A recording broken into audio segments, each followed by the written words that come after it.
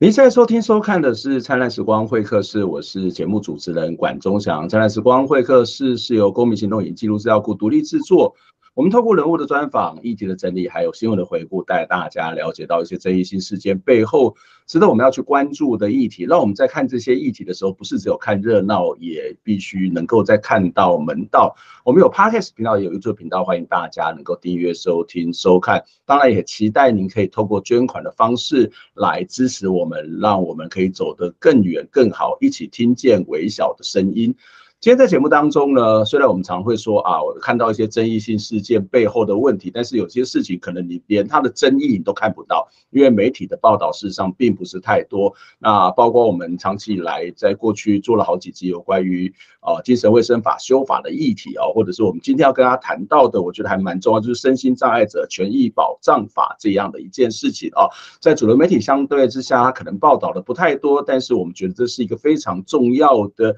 一个病体哦，特别是当我在做这些准备的时候，才会发现哇，有很多东西，有很多的细节我是没有注意到的哦，所以我今天特别要来把这个问题拿出来讨论了。为什么呢？因为呃，身心障碍者权益保障法其实从已经有十五年没有修法，所以今年呢，这个立法院啊，因为这个毛利造苗栗造桥的这个方德方教养院的这个事件呢，好像又开始重启了这个修法这件事情啊。那但是在过程当中，呃，似乎有一些身障的朋友、身心障碍的朋友对这个修法的过程以及法条是有一些意见的，所以呢，他们就发起了一个行动，叫做台湾障碍者黑子革命哦。那他们透过跟中国一样指的白纸，但他们指的黑纸来去表达他们的意见。所以今天在节目当中就邀请到两位来宾来跟我们一起分享，来讨论这个议题哦。第一位是林君杰，君杰你好，主持人好，大家好。呃，君杰是台湾障碍者黑子革命联盟的召集人，但他同时也是台湾身心障碍者智力生活联盟的理事长。另外一位是曾经上过我们节目的朋友李云，李云你好，大家好。呃，李云是台湾精神受苦者群聚，呃群呃，他对不起。李云是台湾精神受苦者群聚会的发起人。好，我想，呃，一开始我们还是从这样的一个黑子革命开始谈哦，就是在十二月五号的时候，其实民间团体台湾台湾障碍者黑子革命联盟曾经出来召开记者会。那在这记者会里面有提出了是这个卫福部虽然要修法，但是你们觉得这个修法的过程是过于仓促，那没有让障碍者有这个参与的这个机会，或者参与机会相对之下并没有那么。的充足哦，为什么你们会出来抗议呢？怎么为什么觉得是不够的呢？呃，就是其实这个法听说是在一百零八年就有进入讨论了，但其实在里面他们召集的一些讨论的团体或成员里面比较少是由身心障碍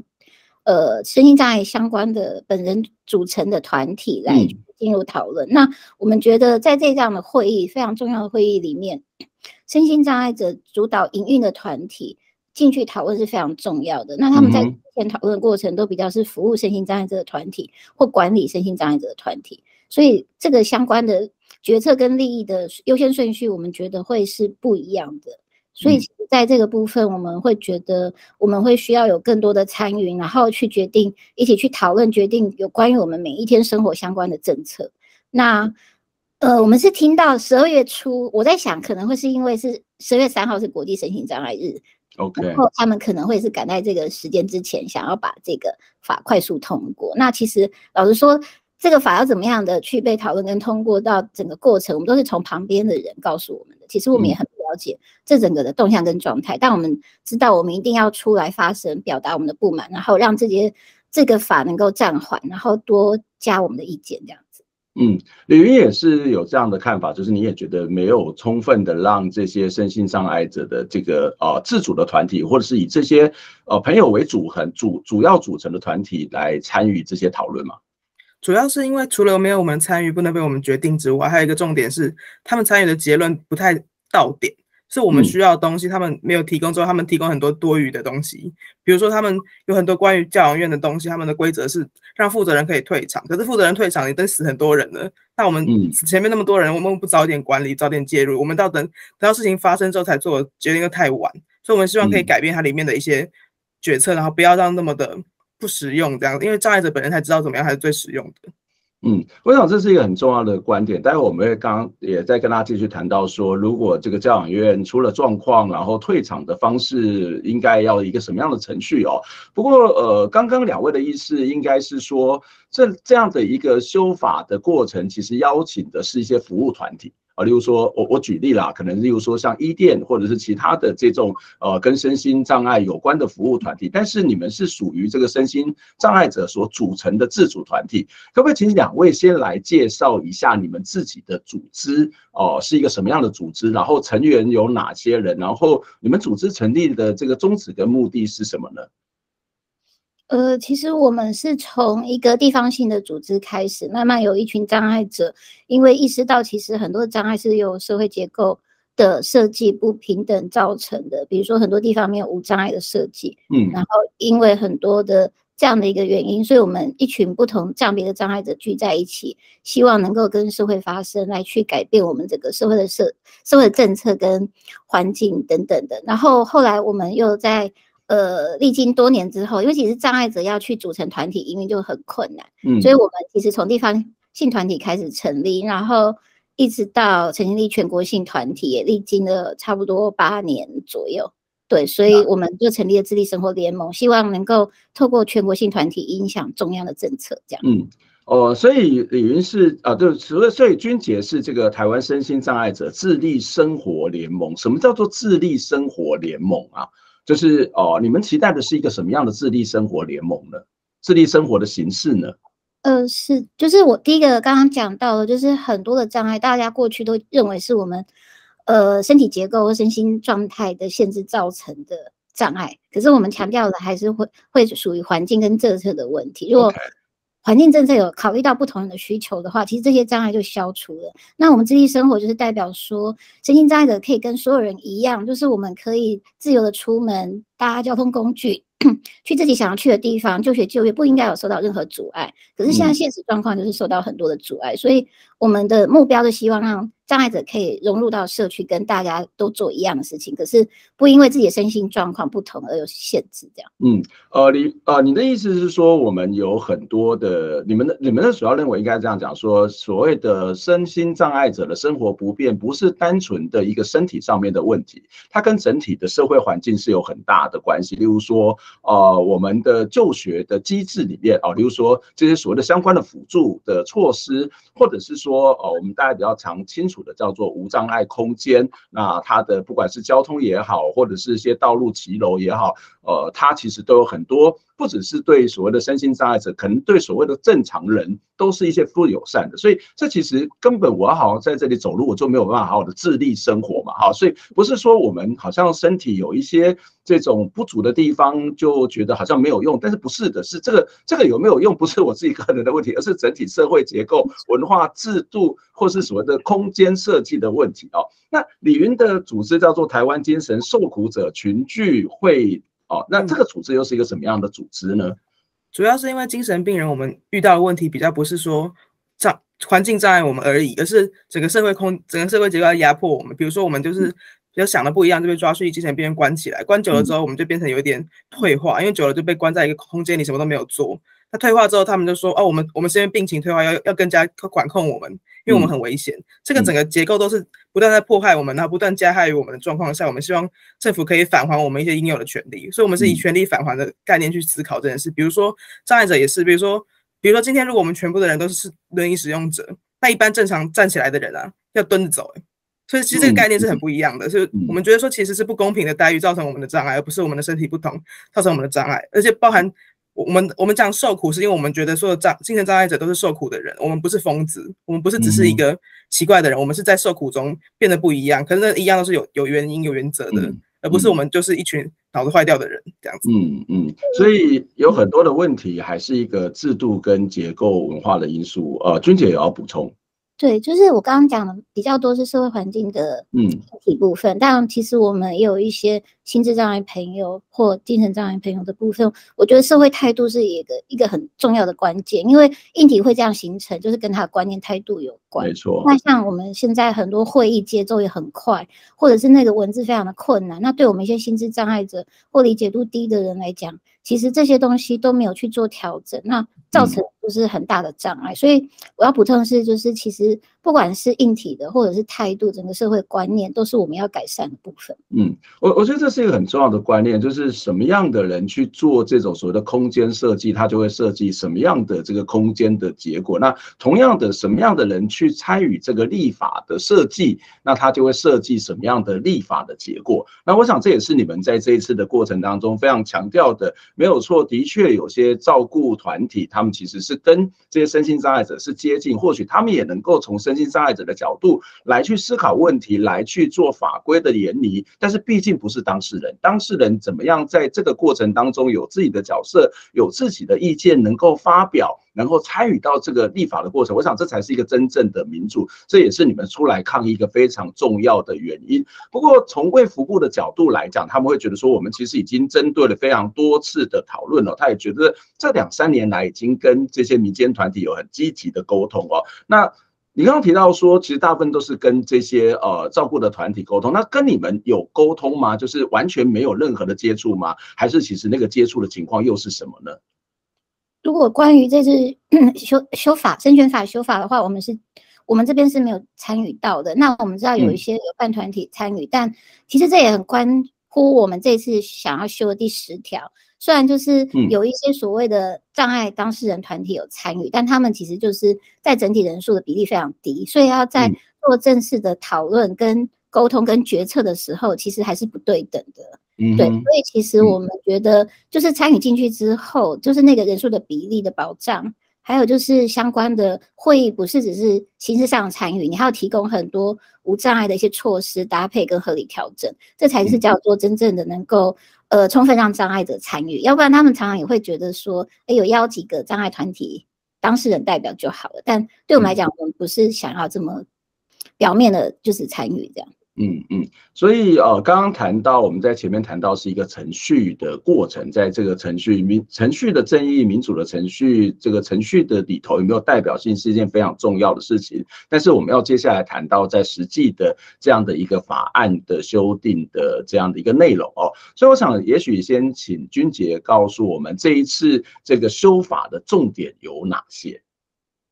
呃，你是说关于卫福部的话，对，是提出就是当然就刚刚讲的以机构为主嘛，然后还有放入了合理调整的概念，嗯然后呃在无障碍的部分好像也有做一些呃修正的部分，对，那最后就是比较是针对机构的一些管理或者是一些负责人他们应该有的资格或者是一些惩处的部分，对，那这是我目前所呃大概了解的部分。嗯，李李云呢要做一些补充。就是刚俊杰讲的社会服务版的说法，可是其实我们都会觉得说，啊，障碍者有非常非常多的状况，包含一些分配不正义的东西，我们很难放进去。比如说很多东很多东西是别的障碍者说，哦，我的我的用具、我的辅具都等我严重才给我，可是我不严重的时候给我，是不是就可以让我不要那么严重，不要花更多政府的钱？很多这种分配上的东西，我们很难塞入法条，所以我们的版本比较是各种塞进去，各种防堵。可是你要说。我们有哪些重点吗？其实都是我们生活上的一些各式各样的可能。比比如说第十条，刚刚有说就是代表性，就是不要再为我们做决定，因为我们不是被处理的人，我们是要争取自己权益的人，我们是一个普通人，正常人的权益，所以这个东西就很难放进去说我们要怎么样处理。比如说我们也谈了很多条，不管不管是无障碍也有谈，然后教育也有谈，我们就每一条都各式各样的生活都放进去，但是可以过几条，我们也是很努力在过这样。嗯嗯嗯，刚有特别谈到卫福部，我自己查了一下卫福部，他提出了四个修法的重点，一个是维系维护身心障碍者行的权利，就是刚刚谈到的这个无障碍空间，然后落实身心障碍者权利公约，这里面其实这个项目里面就提到刚刚所谓的身心障碍者参与的比例，然后再是完善社呃身心障碍者福利机构之服务对象的权利保护机制，这也是李云刚刚有提到说，呃这个退场可能类似的这个问题，还有这个身心障碍。福利机构通报责任跟协力，还有推动国家政策哦。也许我们可以针对这四个部分来再做更多的讨论。我想第一个就是刚刚一直在谈到的这个所谓的民定身心障碍者代表参与的比例哦，可以请君姐来告诉我们这个民定身心障碍者参与的比例，目前卫福部的这个修法的意见是什么？他们希望那个比例是怎么样调整？然后是哪些具有代表性的人？而你们自己的看法，觉得他应该是有什么样的代表性，以及这个代表。可能是一个什么样的比例呢？呃，他们现在的版本就是身心障碍代表，然后学者、专家、民间机构、团体代表人数不得少于总数的二分之一。嗯哼，这二分之一里面，身心障碍者的人数不得再少于二分之一。嗯，而且他是有特别讲要均顾各个障别。那其实这样，呃，整体看下来就是四分之一的机会让身心障碍者有机会参加这个会议。这样，嗯，所以你觉得这四分之一是是不够的，没有办法对于你们有这个代表性。非常不够啊！如果要就是会议表决的时候，光是这个人数就是没有办法影响会议的结果。嗯，而且其实不同账别要怎么代表，恐怕也是另外一个问题吧。是。嗯，OK，李云要补充。就是那个四分之一的问题是里面很多奇怪的代表，比如说像机构代表、学者什么，可是那都不一定有身心障碍本人代表那么直接可以去讲到我们的经验。那我觉得说那个那个比比例上是不是可以再稍微想一下，不要这么多人，然后就等于身心障碍的代表，因为其实那个东西是不太一样的意思，而是我们整体的代表。我们如果占二分之一，我们可以为我们自己的事情做决定，这样还是足够的，不然我们都会被其他人代言，这样也有点危险。嗯，这样的意见有跟卫福部或是相关单位表达过吗？那他们有什么样的回应呢？呃，其实，在这个之前有有表达过，但他们就说，因为原本的会议其实呃相关的主管机关跟一些专家学者等等的人数，整个人数加起来就差不多三十多个人。那如果就是障碍者的人数，各障碍类别都要进去的话，就是会议人数过于庞大，然后呃很难就是让会议能够顺利的进行等等的，就是他们会觉得很困扰。嗯，另外一个其实也是，我想是很多人在关心的这个无障碍空间的问题哦。我也许可以请两位跟我们分享一下，或是跟我们谈一下目前呃卫福部相关无障碍空间的这种所谓的规划或是法律的修订是什么，以及你们同意他们现在这种做法，还是有哪些要改进的措施？因为我想这个议题其实已经非常非常久，我都记得我自己在大学的时候，自己在校内校内里面就办过这个无障碍空间的这个体验。就是在当时的校园里面，大学校园里面就有非常多这种不合理的这样的一个做法。那其实我们就会让同学们坐着轮椅，然后这个去去体验每一个学校里面的场馆的措施哦。这其实哦，这其实已经有二三十年的历史哦。那我不晓得现在无障碍空间实际的落实的状况是什么，而卫福部修法在这次修法当中又怎么去讨论这个无障碍空间的设施呢？嗯。关于无障碍的话，其实我们民间团体很希望用一个专章的概念来去规范所有的无障碍。然后，因为其实现在 过去以来，就是无障碍的一些规划都比较是以硬体的措施为主。那其实老实说，我们就是除了呃政府的，就是公部门的呃一些义务机关必须要无障碍之外，我们会希望就是还是对于民间的部分有一些就是。具体的一些措施跟改善，因为其实身心障碍者，呃，不一定每天都只会去图书馆或者是一些公务的公公共的，就是所谓的公共的空间，还是会有一些其他的空间会去，希望有无障碍。对，那还有就是另外一个是资讯的部分，其实在过去的无障碍比较不会谈到，就是呃，比如说像手语听打跟。易读等等的相关明确跟规范的保障，还有就是视觉障碍者，他也会需要网站的无障碍空间。这些其实在我们这次微服部的修法，并没有非常的具体跟系统化的一个改善跟呃法令的一个保障，所以对于我们来讲，我们也是非常反对。那刚刚讲，其实我们最大反对除了参与之外，就另外就是其实他们对于。住在社区百分之九十五的身心障碍者，每一天遇到的非常困难的一些议题跟生活的空间，还有个人协助，就是我们讲的个人助理的部分，完全没有在这次修法去做呃太多的改善，所以我们会觉得。呃，这个部分必须要再加强的去推动，这样。嗯，这个部分我们会再继续跟他谈个人助理的部分。不过你刚刚谈到一个是我们在谈文化文无障碍空间里面少被讨论的，我们在谈无无障碍空间，大部分都会谈到的是一个空间硬体的设施。那刚刚谈到，其实在所谓的呃国家的相关的机关、公共机关里面会有比较明确的规范，可是，在私人机构里头，哦，它未必就是真正能够去体贴每一个使用者哦。另外呢我觉得非常重要。的一个面向就是，所谓的文化权利的部分了哈，就是我记得几年前，呃，我们的身心障碍团体其实也到 NCC 去抗议，然后到这个相关，我记得当时还有文化部去抗议，就觉得说，哎，是不是很多的场馆应该要去做所谓的双语的服务嘛，哈，或者是说在电视是不是要求某些的呃公共的频道、无线的频道，它必须要去做这种所谓的隐藏式字幕啊，或者说所谓的让。这个所谓的听障者，他可以这个呃呃可以看电视，或是让视障者他可以听电视的这种不同的服务类型哦。所以在这个部分相对之下，你也觉得是比较不够不充足的吗？到目前为止的这个国家的相关的建设里面，就是因为非常不充足，而且在这次疫情的时候更反映它的急迫性跟为就是就是它的问题。对，因为像很多新闻啊等等的，其实是。在卫福部的新闻是有无障碍的，就是在如果以过去这是这这几年疫情的状况，那可是我们发现，如果在其他相关的主管机关，他在呃播报的时候，并没有这样的一个手语或者是听打，那造成就是听障者会对于这些资讯取得落差非常大。对，所以我觉得，或者是像软体，像我们在防疫的时候，很靠手机的那个实实联制嘛，实名制，就是要扫 QR code 的那个。条码，但是这样子到底怎么去知道 QR code 的条码在哪里？对，那登录去取口罩那些都没有去考量，那就回到我们生权法根本没有一个完善的规范去想到各障别的无障碍，所以我觉得这些东西透过疫情让我们觉得更急迫的，在这次要有一些无障碍更多的修法这样子。嗯，但是我很好奇的问，那你刚刚谈到东西，其实是我想绝大多数人，包括在我在内都没有思考到的一个问题，就是扫 QR code，那那个。视障者他到底怎么扫 QR code？他有办法到这些便利商店，或者是到一般的商家去去消费吗？或者是呃维持基本的民生吗？他你们那个时候是怎么办呢？怎么去面对的？我们的视障朋友他就是呃，要不然就是要问路人，就或者他进去的时候刚好有守门人就挡着，告诉他在哪里，就是变成说非常的不方便。那其实或者是视障者，像我们有些肢体障碍者，他手是没有力气拿起手。机去扫，他手可能也不方便，他不是有所谓的一般的五根手指头的状况嘛？对，就是其实会困扰到蛮多不同的障别障碍者。那我们就变手没办法举起来的人，就要找路人。其实我们都找路人，或者找旁边有陪同的人。那我觉得又是一个困扰跟障碍，所以我觉得这些政策都没有找我们本身在生活嗯社区这个每天困扰跟障碍的人，然后就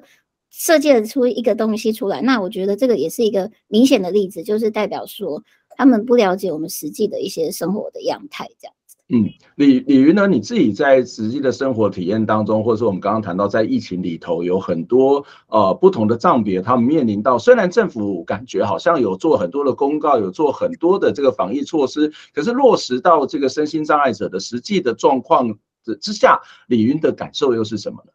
感受比较深的是，其实像声音障碍者有一些相关的服务，我们都被规定一定要除非快筛才能进去使用，可能一个礼拜要快筛两次。可是这些障碍者而言，我们很难信任别人，因为我们常常被迫害嘛，所以就觉得说我们还要为了这个地方快筛两次，我们就不去。那不去之后，就很多事情就会断裂。那这个东西其实对我们来说影响很重，因为我遇到很多很多服务的团体都跟我说，其实包含服务团体他们也崩溃哦，他们就说我们想要服务很多人，但是。人都没办法来，来那不来的话，可能造成各式各样的退化或者各样的状况都蛮多。那另外一件事情，其实我看到很严重，就是我们的我们的那个委员会审议过程中，我们甚至第一天没有收翻，没有收翻跟听打。那听障的人要怎么参与，或者是很多各式各样，像是像是一些不同的参与方式和资讯都不一定，政府都不一定有做到。那我们要怎么参与这整个法案的过程，我都非常怀疑。这样，嗯，我我觉得这非常重要。事实上，我们这样谈下来，有发现呃。所谓的挂号还是要挂号，所谓的正常人哦，他事实上是没有办法体会到身心障碍者在生活当中有非常非常看起来好像是琐碎的细节，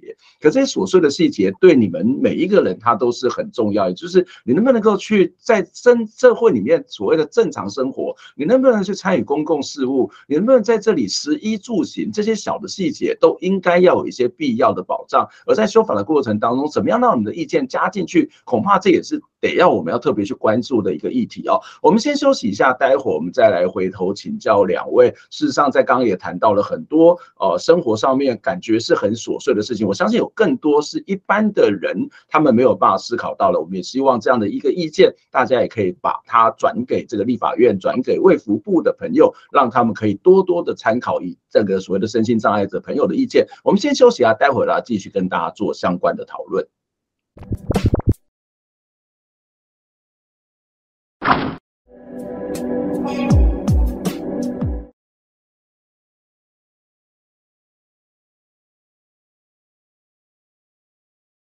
我们写再多，把纸写满了，但还是被忽视、被看不到，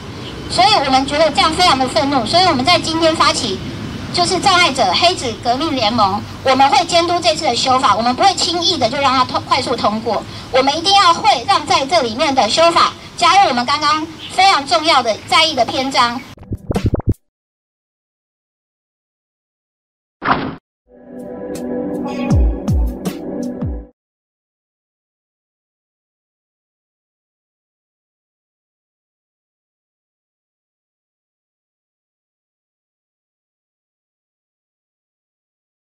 我们其实有参加了那个卫福部为我们召开的会议，但其实为什么会有这一连串的行动，都是回到最原本的。我们其实很希望障碍者本人自己的需求跟自己的声音能够反映回应到政府的政策，但一直以来都没有办法这样的实现，甚至连这次，呃，因为我们上一周的那个抗议行动而为我们临时召开的会议，都让我们措手不及。上星期五马上通知，而且不是通知所有人哦，有些人其实还是没有得到这个资讯，然后寄了非常多的资料，就叫我们今天要来开会。很多障碍者拿到非常厚重的纸本，而且在一天两天之内要迅速读完，这根本是不可能的事情。那还有我们要出来参加会议，我们要急速的找到个人助理，其实这也困扰的个人助理要拨开其他的时间，然后来支持我们参与会议。这些东西到底有？这只有障碍当事者或障碍。相关的人才能够非常切身了解的，但我们一再在会议表达这样的一个问题，但主席还是希望我们今天能够把进度走完，然后把会议召开。那我们实在是无法接受这样平行时空的对话。今天这个会就有点像，是好像说，哎，我们咨询代那个大家代表同意啊，但是我们好像就没有办法说，哎，我们同意了什么？因为他们没有办法告诉我们会议记录，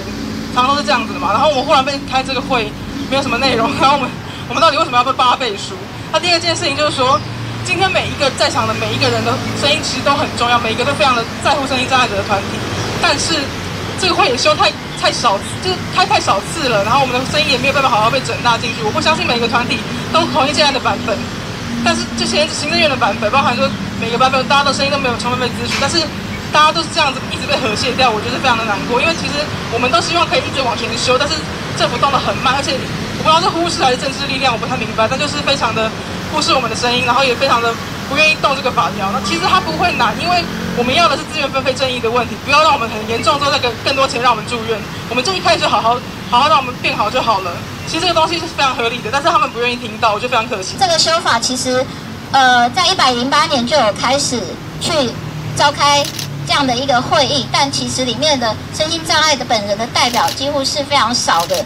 那这个权利公约，我们国际呃，我们身心障碍的权利公约，已经在二零一四年的时候，我们国家已经签署了，但我们的政府却还还现在还在平行施工的修法，所以我们感到非常的愤怒。那刚刚我讲了，就是为了呃这次的一些机构虐死的案件修法，但老实说，我们其实也有很多障碍者居住在社会在社区里面。在社区里面，看似住在社区，其实也是像住在机构里面，因为我们很难出门，我们很难就是像一般人一样能够正正常的吃三餐，正常的想去上厕所，想要去任何地方就去任何地方。我们其实住在社区，也像住在机构里面。那这些东西为什么在这么多年来都没有正视，然后却一味的就是往自己想要的方向去修法？这么重要的这些人群们，我们有不同的账别在这边。那我们的声音，我们想要参与，难道都不行吗？那在这么短促的会议里面，我们到底要怎么样跟大家讨论？大概在一两年前，我们自己的伙伴其实就有在讨论。当时我们在做这样的准备的时候，我们是很希望有机会把这些声音传达给呃立委或者是行政单位。这一次的手法非常的仓促，我们是一瞬间才知道有这样子的事情，我们都还来不及把我们的意见、各个团体的想法。呃，交给立委或者是行政单位去去理解我们的，就是实际的一个处境。对，然后这样子的会议突然召开了，那政府看起来好像只是希望说，哦，有障碍者出现，然后我们有要障碍者来表达，呃，但是事实上这个程序都是有问题。那现在是政府的这种服务措施参差不齐，就得看你自己障碍者住哪里。那可能有的山，呃，有的地区它的。这个政策比较完善，那这个障碍者会得到比较多的支持。那有一些人住在的地方可能比较偏远，那他的得到的支持就少。全国性的这种政策参差不齐，那障碍者就要看自己的运气。这样子我觉得是违反人权的。那其实我我们除了修法问题，还有我们也很担心，就是说修法完之后的落实的一个问题。像很多政府的一个法定的一个服务呢，它都有所谓的自付额。我曾经有问过很多生意大的朋友说，为什么你不去申请政府的个人助理，或者是所谓长照的居家服务？他告他们告诉我说，因为他们不是低收入户，他们要付所谓的百分之三十或百分之十六的自付额。当我使用的服务越多，我花的钱就越多。那根据我们劳动部的一个统计，我们身心障碍者他的平均薪资也只一般人的七成。所以在这种状况下，那他怎么会有那么？足够的所谓的经费去使用政府的法聘，所以政府美其名它有非常多的服务，非常多的支持，可是他呢又在实际的执行跟规划跟在地落实在地方政府的时候下了种种的门槛，比如说评估是一关，自付额是一关，这些都是造成了我们使用上的各种困难。在我们的社社区生活里面，有所谓的不同的族群，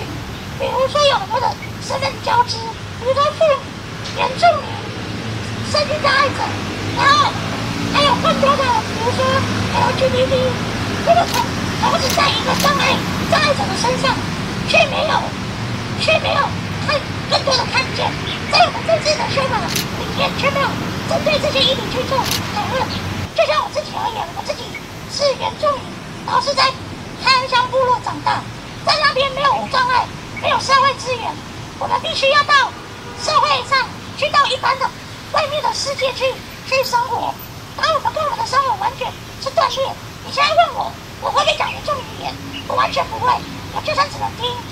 但是我不会说。那这这算什么原住民？我根本不知道我自己是谁。所以我很想要跟，就是我们的政府来说，我们的我们的环境不是只有一个族群的组成，我们是一个共同环境的社会。我们在这里的诉求，就是在这一波的修法能够纳入无障碍的专章，还有让障碍者可以在自立生活社，就是社区自立生活的专章，还有各个不反歧视跟合理调整的专章。因为其实我们已经十五年，历经十五年都没有修这样的法律。那对于这次因为修法是处理机构的问题，我们也十分认同。但我们不认同的是整个的程序，还有就是召开会议的。没有兼顾障碍者的需求，没有障碍者的声音。我们当然不是说要一步到位或完全都听我们的，但但是我们连一个对话的基础的平等都没有，我真的不知道要怎么样好好的坐下来谈。听我发言，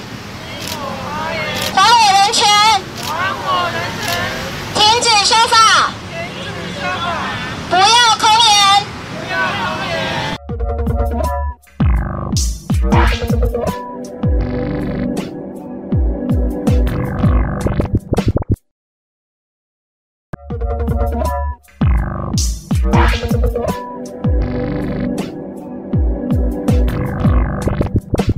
欢迎再次回到《灿烂时光会客室》节目的现场，我是节目主持人管中祥。我们有 Podcast 频道，有 YouTube 频道，欢迎大家来订阅、收听、收看。也是，但你可以透过捐款的方式来支持我们，让我们可以做更多、更好的报道，做更深入的访问，让我们一起来听见微小的声音。今天在节目当中要来跟大家讨论一个我觉得非常重要的议题，但是相对之下也并没有受到太多关注的一个法。案的修改就是身心障碍者权益保障法，它已经十五年没有修了，也是我们可以看到这个社会的这个所谓的。呃，人权的意识也好，或者说实际的状况也好，或者整个环境空间的演变也好，它事实上都在做剧烈的变化。所以呢，修法在这个时候修法，我想是比切是必要跟迫切。但是我们在上一段的节目当中有提到的是，这些修法的过程呢，其实有很多的呃细节是没有考虑到的。为什么没有办法考虑到这些实际使用的细节呢？是因为。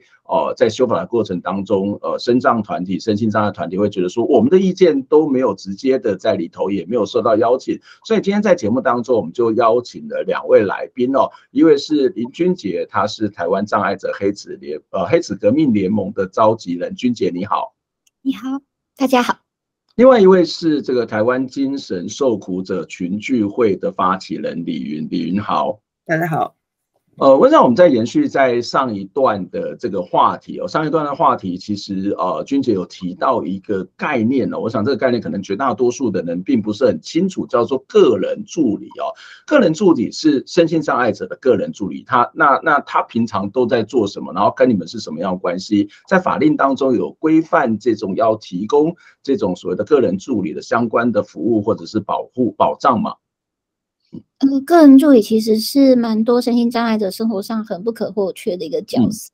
因为身心障碍者就是有所谓的身心限制，那他在执行生活上的一些事物跟动作会是有困难的。肢体上的障碍者可能就是他，比如说像喝一杯水，可能就要有人帮他拿，拿就是杯子起来喝等等的，就是非常个别化的一些生活大小事的执行，它有别于看护。或者是居服员这种照顾的角色，因为他会是以各个人的习惯跟喜好，然后比较是主动询问、被动协助。他不是说呃来 take care 所有觉得天气很冷就要帮你穿外套，没有，就是天气很冷你还是要问他你需不需要穿外套，跟那种保护跟照顾的概念还是比较不太一样。嗯嗯，那他是社社区上生活的一个很重要的部分。那像智能障碍者可能就会是。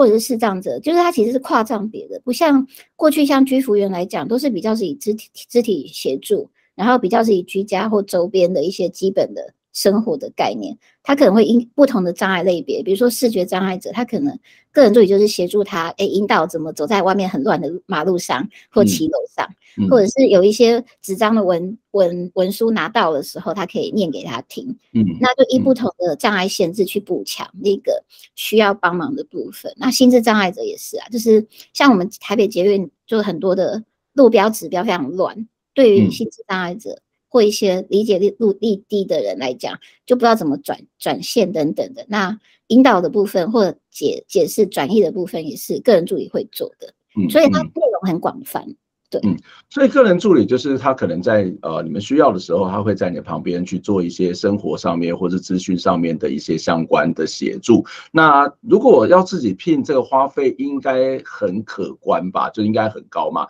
那所以政府有一些相关的补助或是协助在这个个人助理的部分嘛？呃，对，就是这个服务是在二零一一入法的，嗯，对，之前其实完全是没有，我们过去都把照顾这件事情放在家人的责任上面，或者是叫你自己去请请那个外籍看护，那政府不太重视这个部分，那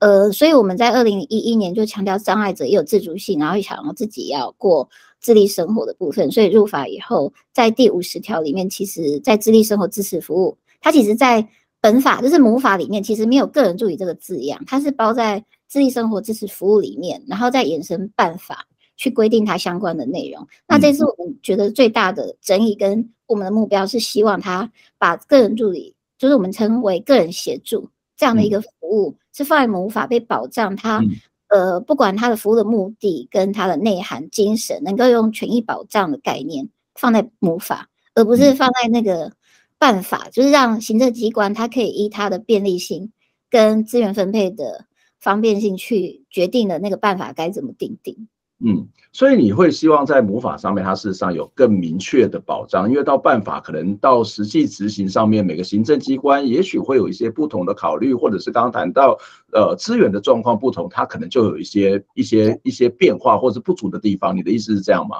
是因为其实犯魔法是希望是需要经过立法院的通过的，嗯，但办法的话，其实行政机关他们自己。呃，就是做一个讨论，然后就很可很可以轻易的去改变那个办法的内容，这也是我们现在遇到的困境。就是现在，呃，他们因为资源分配的关系，所以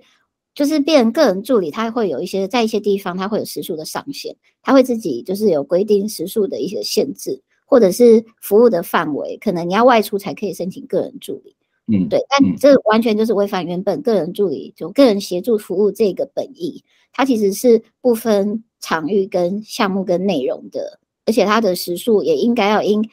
各地方政府或中央政府他们的预算多寡去提供这样的一个服务和时数的时数的部分，而不是就是一律就是六十小时的上限去规范每个人的生活的自主性。嗯，李云是作为一个也是在这个被一般会归类叫做呃这种所谓精神上面的一些呃障碍者，也也会有这种所谓的个人助理的需要吧？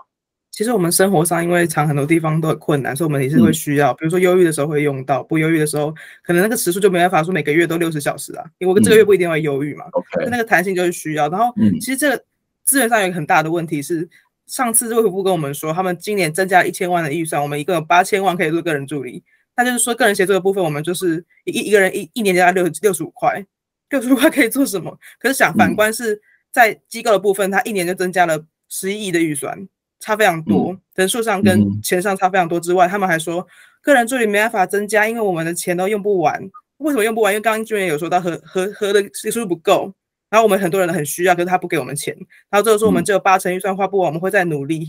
我就不懂那个逻辑在哪里，对，很蛮难能懂。嗯嗯，呃，在另外一个问题，我觉得也是一个还蛮。我不知道，应该对很多人来讲是琐碎，甚至是一个不重要，但是我觉得是非常呃值得去关注。因为前一阵子我自己的课堂上面有同学报告月经平权的问题，那其实在这一次的修法过程当中，其实范云委员也提到，呃，要是不是应该要针对这个生长者女性生理用品来做一些提供或者是一些补助哦。那我想要请教在。女性生理用品对于生障者而言，它的在一般使用状况，它可能会有什么样困难？那事实上，呃，你们也提出，或者是范宇委员也提出类似的这个修法的建议。不过，卫福部似乎认为说，呃，其实已经有一些所谓生活补助了，不必要特别的去把这个女性生障者、生障者女性生理用品这个东西是纳入在法规里面哦。呃，你们的看法是什么呢？其实，第一个要拿到政府的生活补助，那个门槛非常高。嗯，然后。就是他会绑，就是整个家庭的收入、家户的计算等等的，所以第一个就是要得到生活补助门槛高之外，就是他的补助的那个呃金额也非常少，因为像现在就是我们每每一个月的生活就是物价也不断的上涨，但其实他补助的非常的非常的少的部分，那所以我觉得这个独立出来去做一个保障女性的障碍者，她在生理用品等等有一个就是呃。这样的一个减轻负担的一个保障，我觉得是很重要的。对，那其实我是觉得，除了障碍者之外，其实有需要的女性，我觉得应该都都需要得到这样政策。但只是因为在这次生权法，我们有看到很多的一个呃障碍者，其实老实说，我们在我们在受教的机会就已经比较少。那受教机会少。就等于说，你要在社会上取得工作的机会又相对的更少，所以我们要就是能够生活每一个月的那个花费，除了原本自己障碍而产出的医疗花费也好，或辅具花费等等个人力花费之外，其实我们很多花费是比一般人更高的。嗯嗯，所以我觉得其实有很多东西必须要去看整体不同族群的生活的脉络，然后去给。这样的补助，这是很需要的。这样，嗯，的确，我想这是一个越来越必须要去关注的议题哦。在特别是过去以所谓的男性作为一种立法思维的状况底下，对于这一个所谓的女性生理用品，是不是应该有一些更平权的做法，包括补助在内？这个其实最近这几年在台湾的社会也蛮好的，越来越多的讨论哦。那刚刚也谈呃，这个李呃，这个君姐也特别谈到说，它不是一个纯粹的呃生障者的需要的问题，它可能是整体要纳进来一起思考跟讨论，李云的看法又是什么呢？我觉得很有趣，就是生活补助。举个例，比如说像是我生病十年，第十年我才拿到生活补助，这第十年的状况下，我拿到三千七百块一个月，那我要怎么过生活？我光买卫生纸每天买完了吧？对啊，那东西非常少，而且那主要原因是因为社会在让我歧视污名，不让我找工作嘛。那我工作原本三万块，这边三千七，我要怎么活？这是一个很奇怪的分配问题。那第二个问题就是。社会看不到性别啊，障碍者没有性别，我们就好像不用 不用有性的一样。可这个东西是一个开始，就让大家知道障碍者除了是障碍之外，我们还有性别身份，我们还有不同的身份，我们还有不同的需求。所以那个三千七不应该这样分配，而是每个人有不同的需求，应该要好好在每一个层面好好思考，而不是每个人的三千七打死你说一个月只能花三千七，这样就够了？怎么可能够呢？对啊，这很奇怪的想现象。所以对我们来讲，生活补助的费用其实已经是不够了。但是如果你把这个生理用品，这其实是一个。必需品啊，然后你又放在这个生活的这个呃补助里面，它事实上就会去排挤掉原来生活补助的一些金额的支配跟分配啊。那这个其实就是你们觉得一个非常重要的问题。另外一个呃，李云也提到一个，我觉得还蛮有趣的，就是我们似乎把障碍者是没有看到这种所谓的性别的状况，也就是说。呃，在每一个人他可能会有一些多重交织的这种所谓的压迫或是不平等的问题，所以有些东西在立法的时候可能得要更细节的去考虑哦。当然，是不是定在法规当中，这是可以讨论的问题。可是有没有考虑到，又是另外一个非常重要的、最基本的面向哦。另外一个问题，我也觉得，呃，其实我有点不是那么的明白哦，就是呃，就是所谓的安置跟这个所谓的住宿安排哦，就是在过去的这个法规当中，事实上是用安置哦，就是有关于身心障碍者相关的安置的问题。但是其实呃，民众党或是包括你们觉得说，这个字眼其实是有某种的造成社会的误解，甚至会有某种的歧视的问题。那你们会觉得说，应该把它改成住宿的安排？这个有为什么会有这么大的差别？就是住宿的安排跟安置哦，它可能本质上面、实质上面是一样的。那为什么你觉得在这个字眼上面应该要去做一些调整？呃，就我的观念，我觉得安置就比较不会是一个好好对待人的一个方式。看，你看安置一个物品或什么的，那我觉得比较好的住宿安排或服务提供，可能会比较是有一种对等的概念。因为安置好像比较是单向的，就是我帮你安安放置放在一个地方。但我们其实不管是什么样的服务，我们都会希望。有一个对等的沟通，然后障碍者也是必须要参参与到自己的服务怎么是被决定的，不是被决定，而是而是我们是讨论出来的，不是不是谁来安置我，而是我们去沟通现在状况，然后我们去来一起决定我该去哪里，或我要去接受什么服务。我不是，我相信应该不太会有人喜欢用“我被安置”这种词，就就听起来就觉得很。很奇怪这样子，嗯，所以安置这个词本身就是好像是一个被动的安排。那这个安置这两个字，其实就是反映出某种的一种呃立法者的一些态度，或者是所谓的呃挂号也是要挂号，所谓正常人的这种所谓的观点跟想法。可是呃，是不是安置是一个要讨论的议题？但是它更重要是实质上面这个所谓的住宿，或是这些居住，或是之后的生活的安排，应该是一种共同讨论，而不是被某些的专业者来做决定。李云的看法又是什么？因为我以前做过社工，我们找不到任何一个除了住宿以外的安置方法。比如说安置到学校，哎，就业安置就是帮帮某个庇庇护工厂去工作。那比如说你是他，应该说政府的想法是这样，可是我觉得安置应该不应该这种安置法。比如说你就学的安置是把你放到寄宿学校去寄宿，可这个东西都没有经过任何的想的讨论，也没有办法经过当事人的权益被被代理，就是那个代理性很诡异。就是说我听了你的意见，然后我帮你去处理，而不是你的意见可以放进来一起讨论。那这个问题就很严重，变成说我被放置到某个地方，我就不能再变了，变也很困难变，然后我就被放置到那边，那个治很危险。可是那个治的主要条件只是因为你住的地方有危险，或者你住的地方不太适合，我们要帮你住到别的地方去。它应该是一个住宿的改变，而不是应该说我帮你整套决定，这样子很危险。嗯，的确，这些字眼哦，我常会觉得魔鬼藏在细节里啦，在某些的字词的使用上面，在文字的使用上面，它其实背后是有一些意涵跟价值哦。那把这个意涵跟价值谈清楚，是不是要去做一些调整跟改变？我觉得这是一个非常重要的、值得关注的这个细节哦。不过，其实也会有人觉得说啊，你们讨论这些东西都很重要了哈啊，这个很重要，我们当然也应该要去做一些改善。可是。修法是修那个大的原则嘛？那这些东西有些是在于办法，或是在一些条例里面，或者是一些细则里面就可以定的。为什么你们觉得一定要坚持的把它定在这个所谓的呃母法当中呢？嗯，刚刚讲的我自己呃，就是刚刚有提到，就是定在母法的话，比较是能够有一个。权益保障的概念呢？因为办法就真的是很琐碎的一些细节，我们是同意比较琐碎的执行细节是可以定在办法，但比较是像刚刚以不管是无障碍交通、无障碍也好，就是无障碍有分交通嘛，或硬体的设施或资讯的部分，我们还是希望是定在母法，就是身心障碍权益保障法，以权益保障的概念，就是明确的宣示身身心障碍者有这些权利，那政府应该有义务做到哪一些？这些必须要很。呃，就是以法的位阶来讲的话，我觉得它会是比